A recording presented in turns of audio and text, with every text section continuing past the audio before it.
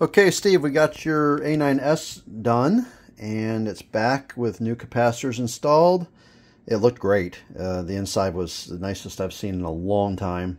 Probably because this was a mass air conversion kit, not an original, I'm guessing. So it may be just a little bit newer. Uh, we're going to give it a quick bench test to make sure everything went smooth. Okay. Check engine light comes on like it should.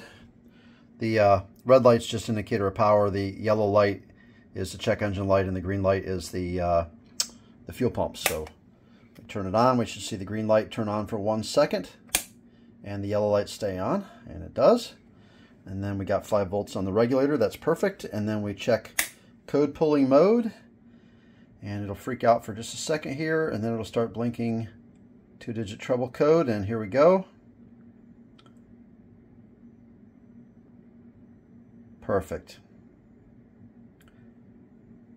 Five and second digit one.